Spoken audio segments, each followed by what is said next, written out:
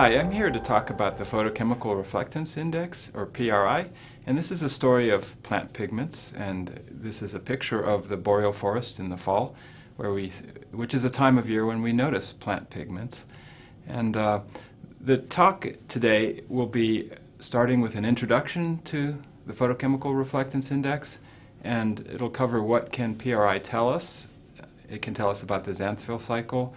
It can tell us about relative amounts of carotenoid and chlorophyll pigments, and it can tell us about photosynthetic activity and plant stress under a variety of conditions. So I'll give examples of those, and I want to end with the theme of remote sensing of PRI.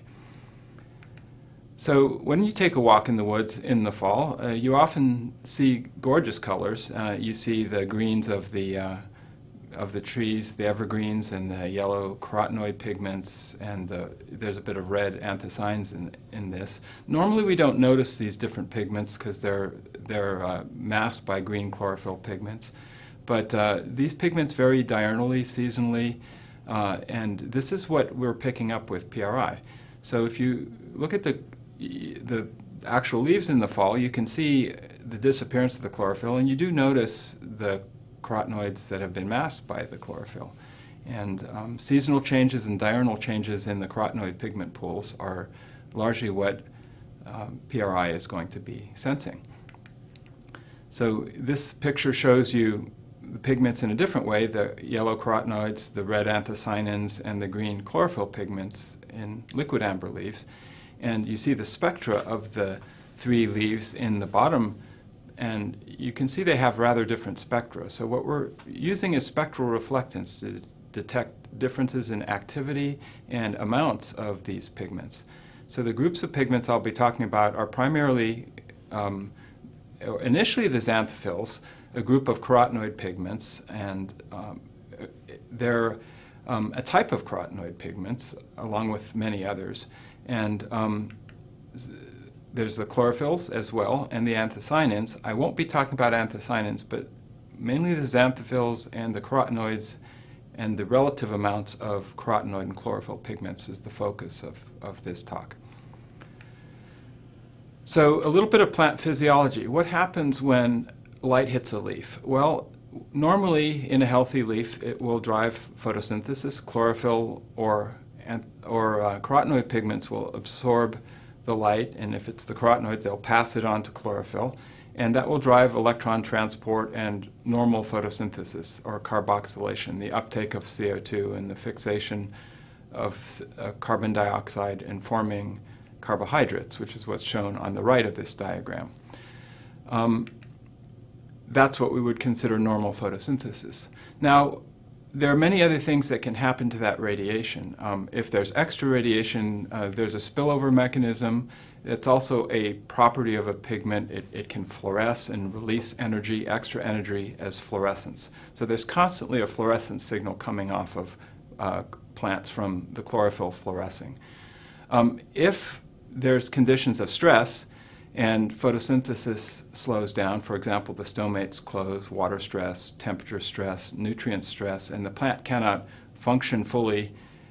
Its photosynthetic system is reduced in its activity. Then the plant has to find a way to, to get rid of the extra energy if it's out in high sunlight. And that's where the xanthophyll cycle that's shown on the left comes in. And um, under extra light, uh, the pigment violaxanthin is converted to antheraxanthin and then to zeaxanthin. That's called deepoxidation. And under limiting light, uh, the reverse pattern happens, and that's epoxidation. And that happens on a diurnal basis as the light changes. But if there's a lot of extra light, there's a, the, this conversion kicks in, and instead of passing the energy on to electron transport and driving photosynthesis, the extra energy can go to zeaxanthin from chlorophyll and spill over or be turned into heat. Um, this is a process that's called, that safely dissipates the energy, and it's also called non-photochemical quenching because we're quenching the fluorescence signal. So uh, a take-home message here is that the xanthophyll cycle is intimately involved at, with uh, the photoprotection of chlorophyll under stress. This is related to the chlorophyll fluorescence. It's another energy spillover mechanism. And all of these xanthophyll cycle pigments are part of a larger carotenoid pigment pool size. Uh, so that becomes relevant in this talk as well. We're, we're looking both at the xanthophyll cycle and the larger pool size of carotenoid pigments relative to chlorophyll under changing conditions. And we can use this as an indicator of photosynthetic activity and stress. So one way to summarize the change in the xanthophyll cycle is through the epoxidation state, which is shown on the top. It's the content of the violaxanthin plus half the antheraxanthin divided by the sum of the three xanthophyll cycle pigments. And that formula is up on top. So the epoxidation state, or EPS for short, will come up in a subsequent slide. So the story of PRI really began with some experiments um, back uh, about uh, in the late 80s and um, a shade removal experiment um, with sunflower. And it was known at the time that the xanthophyll cycle existed, and since these are pigments, it, it seemed likely that if you could expose a canopy to high light abruptly, you should be able to see a change in the reflectance spectrum. And just like a, a waiter, the old trick with the tablecloth where a waiter pulls a uh, tablecloth out from under under a bunch of plates. The idea here is to shade the um, canopy with a black cloth and then suddenly pull that cloth out and then abruptly expose the canopy to full sunlight at midday. So this canopy's been shaded since the night before. It's in a dark adapted state. And th the thing that this picture doesn't show is while this is going on, we're looking at it from above with a spectrometer which is monitoring the reflectance of that canopy. So from the moment that shade cloth is removed, we're, we're watching that canopy and monitoring the spectral reflectance. So this experiment revealed that there were indeed sudden changes in spectral reflectance shown in the top panel, and those are shown as the different spectrum in the bottom panel on the left. And you can see over a time period of several minutes from half a minute to two minutes, 10 minutes to 40 minutes, you can see a fairly large change that's shown here. And that has to do with the quenching of the chlorophyll fluorescence. That's the fluorescence signal disappearing. And it's disappearing because this other mechanism is kicking in. The xanthophyll cycle pigment conversion is starting, and that shows up here where the blue arrow is at 531 nanometers. And we knew this was the case because we also took uh, leaf samples from this canopy as these experiments, as these measurements were being made, and, and extracted the pigments and compared the actual pigment content and epoxidation state to these reflectance spectra. And what we found was, over the first 10 minutes, a very strong relationship between the epoxidation state of the xanthophyll cycle pigments and this reflectance signal at 531 nanometers. You'll also see over time that starts to drift. There's complicating effects of sun angle changes and canopy structure that come into play over longer time periods. But over the short time period, this is a very good measure. This reflectance at 531 nanometers is a very good measure of what's happening with the xanthophyll cycle. And um, I'll come back to this issue of the drift in a, in a, in a moment. So We've also done experiments um, with other methods. Um, the problem of the sun moving through the sky and having to deal with the complexities of canopy structure is sometimes an impediment to doing physiological studies. So to pursue this question further, um, you can take reflectance off of a single leaf, and one way to do that is using a light source and a leaf clip and a spectrometer attached to a bifurcated fiber optic probe. And the picture in the top shows uh, actual sample being taken, reflectance sample being taken from a conifer needle. So it's possible to take a, a repeatable reflectance sample from something as smaller than a millimeter with this method. And it's very repeatable and you eliminate the problem of background lighting, shadows, and things like that. So work like this has revealed similar sorts of responses. Um, this is on a Douglas fir canopy, and you can see in the top panel a very subtle change in reflectance, both in, in the fluorescence region, which is shown in the bottom panel. The dips in the right-hand side is the double dip from fluorescence quenching. And The dip in the left is the change in xanthophyll cycle pigments showing up at 531 nanometers. Now, it's, it's really hard to see that change in the original spectra, but if you blow it up, it's, that's a blow up on the right of the green hump uh, in, in the visible part of the spectrum, and you can see a subtle change in the top panel uh, in the reflectance around 531 nanometers. And when you take a different spectrum, in the bottom panel, you see that clear dip centered at 531 nanometers. And the edge of that feature is at approximately 570 nanometers, and that makes a good reference for this feature. So um, from this, we developed the uh, idea of an index, the photochemical reflectance index, that that expresses that 531 nanometer feature, that xanthophyll cycle feature, relative to the edge of the feature, a reference. And often 570 nanometers is used, although many other wavelengths have been used in the literature. Now this formula gets used different ways. Sometimes people reverse the formula, but this is, this is one of the more common formulas here. Uh, the difference between 500, reflectance at 531 nanometers and reflectance at 570 nanometers divided by the sum of the two. So this largely corrects for some of the problems with um, time and sunlight changing and other background effects. The idea here is to try and narrow or zero in on the actual xanthophyll cycle fe feature with this formula. That's the derivation of this formula. So this formula has been used in a lot of different experiments over the years. And eh, for example, in this experiment, we're combining reflectance measurements with fluorescence measurements in a gas exchange system, simultaneously uh, measuring the um, reflectance and the fluorescence as we change the light and the CO2 concentration and measure photosynthesis. So the top panel shows as we go up in light and down in light, sort of a simulated day, and as we stress the plant with a uh, low CO2 treatment in the middle of the day, sort of like mimic, mimicking a plant's stomates closing.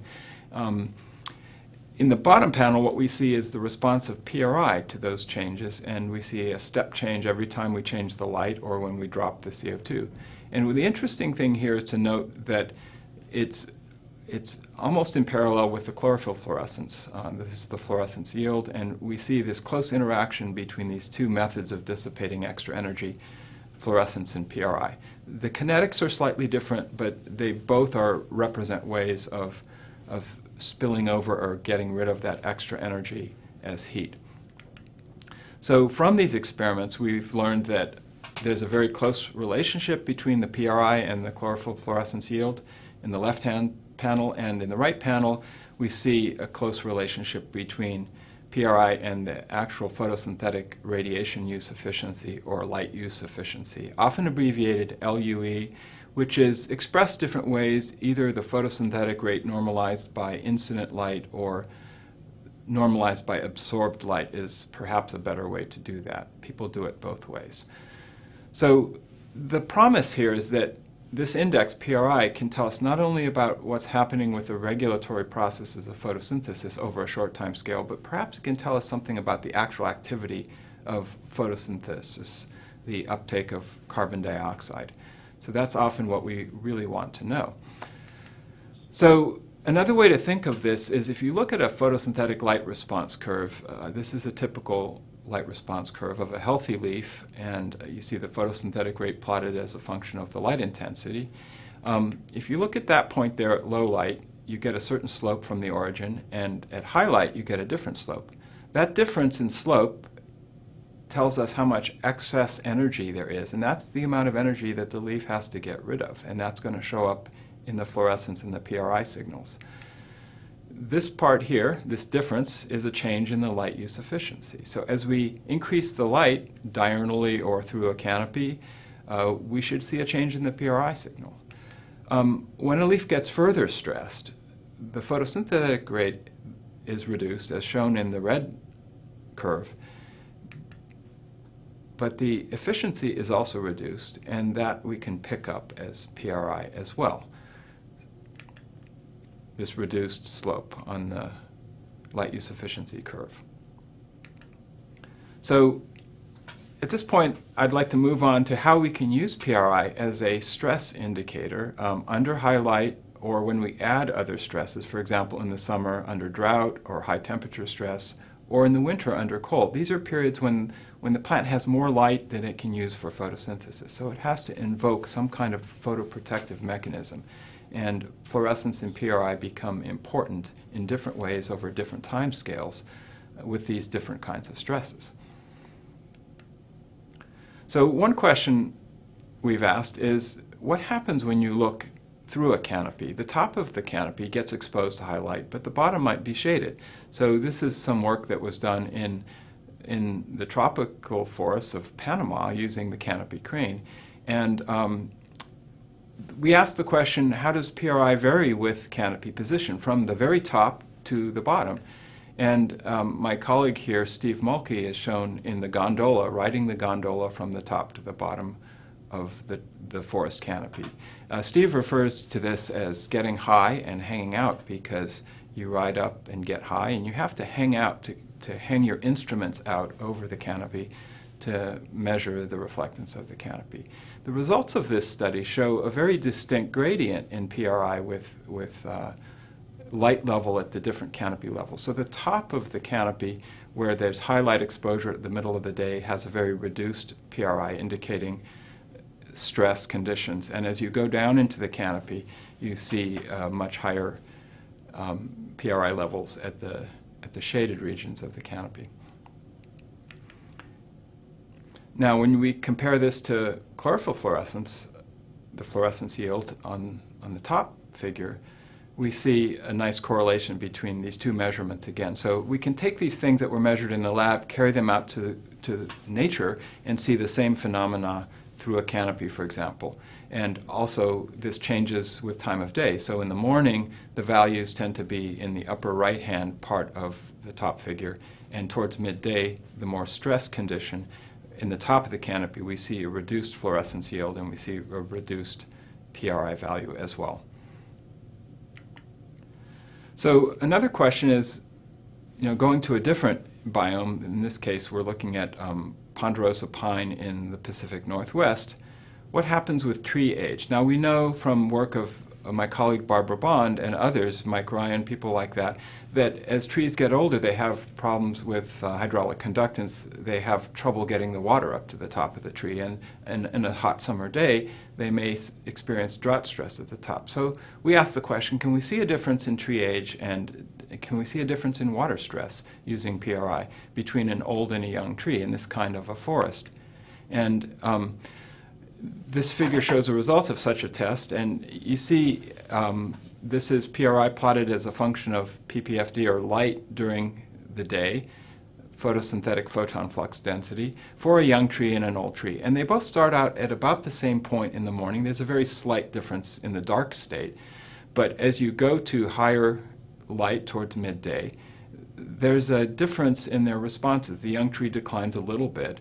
The older tree um, which has a problem with water supply to the top of the tree, shows a much bigger decline in PRI. And this is an indicator of midday drought stress in the older tree. So the difference here in PRI as you go towards the middle of the day picks that up. So this is an example of how you can use a dynamic approach to sampling PRI here, in this case at, at the needle scale, to pick out differences in the behavior the physiological behavior of two trees in a forest. So um, we've also done work in the boreal forest, and um, this shows a picture of the Canadian boreal forest, and there's a picture of leaf reflectance measurements being made with a leaf clip on a conifer in, in the right-hand picture. And um, we've asked the question, how much does, when you apply these dynamic approaches to forests, how much does the PRI vary within the canopy under different conditions. So this is a study of the top of the canopy versus leaves in the bottom of the canopy in deep shade for the boreal forest. And the top panel on the left shows you the reflectance of, of the two leaves, and you see there are differences, and you can see the two wavelengths of PRI there for a sun and a shade leaf. And the bottom shows you the difference from the dark state to the light state um, in reflectance, the delta reflectance. And you see that clear double dip of chlorophyll fluorescence quenching and a very strong signal of the xanthophyll cycle in the case of the sunleaf and a weaker signal in the case of the shade leaf. This tells us a lot about the capacity of the leaf to respond to sunlight. The shade leaf lives in the shade, it doesn't have as much of a xanthophyll cycle pool, pigment pool, whereas the sunleaf at the top of the canopy has a much larger pigment pool and is much more responsive to light. And it, it, it has more of that photo protection built in.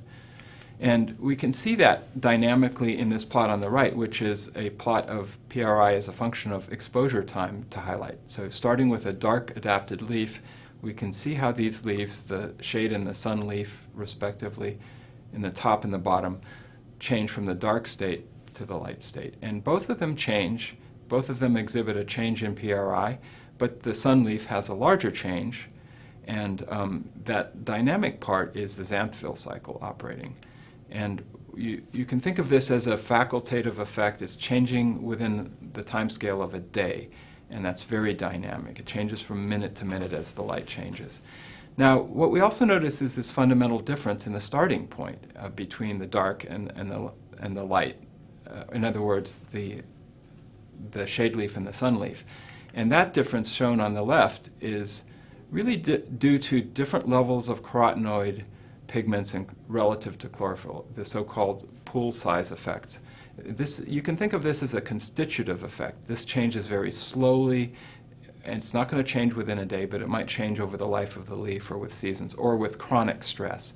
And so there's more than one thing going on here, and you can tease them apart based on the kinetics, and you can use these dynamic approaches to see the difference in, in the xanthophyll cycle or longer term constitutive effects, pigment pool size effects, on the other hand. And the take-home message from this is that within a canopy, a, a, a, boreal forest stand, most of the variation in PRI is actually attributable to these pool size changes, not, not the subtle diurnal changes. So if you were to just measure PRI at random and look at random variability in that signal on these forests, it's the carotenoid chlorophyll pool size effects that are really dominating this signal. And buried within that is the subtle diurnal change that is the facultative effect. So it's, it's hard to measure things across time and space, which is um, what we're talking about with the measurement of PRI. So this has led to some new techniques for measuring spectral reflectance, and what's shown here is a robotic cart for measuring reflectance across a transect through, through time and space and we call this the TRAM system. This is a chaparral system in California, and you can see a downward-looking uh, fiber optic that is connected to a spectrometer, and also on this cart is a upward-looking channel that's reading the downwelling irradiance, the solar spectrum, if you will. And so this allows us to correct the um, reflected radiation by the downwelling irradiance. Uh, so as clouds change or the sky conditions change, we can correct for that with this kind of a system, dual channel system. So uh, by measuring up and down at the same time. Also, we have other instruments here, like in this case, a, a thermometer measuring surface temperature. And here's a picture of the same landscape before a fire came in and burned it, and you can see the tram operating in the background. And we asked the question, how does PRI vary seasonally in such a landscape? And this, remember, is an evergreen chaparral landscape. And the results are shown here in this um, figure by my colleague Don, Dan Sims. And you can see a change, a seasonal change in the, in the leaf PRI, which corresponds to what we saw with the whole canopy measurements in the tram. And um, you see two lines. One is the measurements in the dark state in the morning. The other is measurements at midday in the light state with the open symbols. And you see a subtle difference from morning to midday, but you see a much dif bigger difference from the first year to the second year or from season to season, winter to spring to summer, for example. And um, so the take-home message here is that there's a very strong seasonal change in the PRI and a much more subtle change that's the diurnal change. And we looked at this also, uh, oh, by the way, the second year was a drought year, and so you see a much reduced summertime PRI value under drought stress than you do in a well, in a more normal year in the left. And in this case, it was quite clear that most of the variation in PRI is attributable to changes in the chlorophyll carotenoid pool size the constitutive effect rather than the diurnal effect. And um, this has been hard to tease apart because when you compare pigment measurements to the PRI measurements, and this is work of a colleague, Kat Stylinski, um, we see good correlations between PRI at leaf or canopy scale and pigment levels measured as xanthophyll cycle pigments or as carotenoid to chlorophyll ratios. So it's a little hard to know how to tease this apart, but we can do that by looking at it dynamically through time in the figure on the left. So we also asked the question, what about other kinds of ecosystems that undergo strong seasonal changes? For example, in the boreal forest in the wintertime, there's lots of evergreens. What happens to these evergreens in the winter? Now, most of us probably don't think about this because we, we look at um, evergreens and we think of them as being green all the time, but if you look carefully, a, a careful observer will notice that there's actually subtle changes in the pigment pools and uh, have a little prop here. This is a juniper plant from outside. And in the wintertime, they get a little bit dull green, sort of yellow green, and in the summer, they turn a brighter green. And um, the question is can PRI pick up on that and can it help us monitor those changes? And it turns out it can. Um, Chris Wong is shown measuring, measuring uh, PRI on leaves in the left in the wintertime, and those same leaves in the right you can see um, are quite bright green in the summer. So this is ponderosa pine and also Pinus contorta, or uh, two species of pine being measured here. And the left, you see the, the needle clip, the leaf clip, and in the right, you also see um, automated measurements. In this case, we're starting to use, in addition to spectrometers, some new sensors from uh, a variety of different sources, including the Decagon SRS sensor, monitoring PRI changes in the canopy through the seasons. And what we see is that in the spring, from winter to spring, we see a, a clear transition in um, PRI, and we can see this whether we're looking at the leaf scale or at the canopy scale or whether we're using automated sensors like the SRS sensors. So regardless of what scale or what method we use, we see this spring activation uh, of this change in pigment pools that happens to be correlated with the turning on of photosynthesis in the spring. So in these seasonal studies, what we're learning is that PRI is a pretty good indicator of seasonal changes of photosynthetic activity in evergreens. So to sort of summarize these stress effects, PRI detects the xanthophyll cycle, um, but it also detects the pigment pool sizes of chlorophyll and carotenoids. And the first one we could call the facultative one, and the facultative response that operates diurnally, we're measuring the epoxidation state of the xanthophyll cycle pigments, essentially, as they change with light and conditions during the day. The pigment pool size effect doesn't change on a diurnal basis, but may change seasonally or with, with chronic stress, and that is also detectable by PRI. And it's actually a much bigger signal and is very easy to detect with this index. So what are the implications of this? Well, when you think about evergreens, they're, they cover a huge part of the planet. And uh, for example, the boreal forest, about a third of the world's forests is boreal forest. And it has, the boreal forest has a lot of conifers, and they're exposed to extreme conditions. Um, and we now know with PRI, we can detect the, the seasonal changes in photosynthetic activity as well as diurnal changes in photosynthetic activity. So the asterisk is to in indicate that we can detect these changes at different timescales, looking at different kinds of effects with this one index, PRI. And there's also hope that if we can scale this up, we can use remote sensing to improve our knowledge of photosynthesis and we can this can tell us about phenology of the forest and the carbon flux of the forest. Uh, and we believe that that may be changing. Uh, so how do we monitor this with remote sensing? Well, one way might be to use PRI.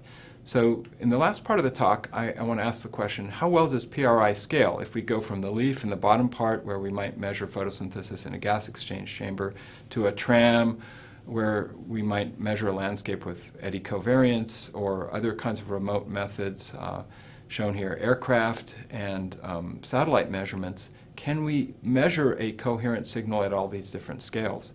And can we relate this to other processes of interest like photosynthesis? And it turns out that as long as you have a closed stand and you have solid mass of vegetation, there's a pretty good relationship between what we measure at the leaf scale and the stand scale. This is a, an experiment looking at simultaneous PRI measurements at the leaf level and the stand level. For a stand exposed to shade, the shade is removed, and then the shade is put back. And you can see the responsiveness of this signal at two scales. And if you look at this for many, many different plants, leaf versus stand scale, you, you do see that as long as the canopy is closed, you can see a coherent signal at a stand scale. So I think there is hope that we can use this for remote sensing. And one way to do this is, is to take the PRI signal and put it into this kind of a model, what's called the light use efficiency model, where the gross photosynthetic uptake um, is um, a function of absorbed light times the efficiency with which the absorbed light is used for photosynthesis. So the absorbed light term, or APAR term, is shown on the left, and that's a product of the photosynthetically active radiation and the fraction of absorbed radiation, the fraction of that radiation absorbed by green plant materials. So that together makes the absorbed light term, and then the term on the right is the efficiency term.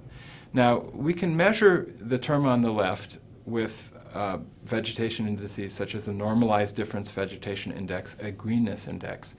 The term on the right, the question is, can we use PRI or fluorescence of some kind to measure that non-photochemical quenching process and to measure uh, the pigment pool size changes in the case of PRI to look at seasonally changing, diurnally changing light use efficiency.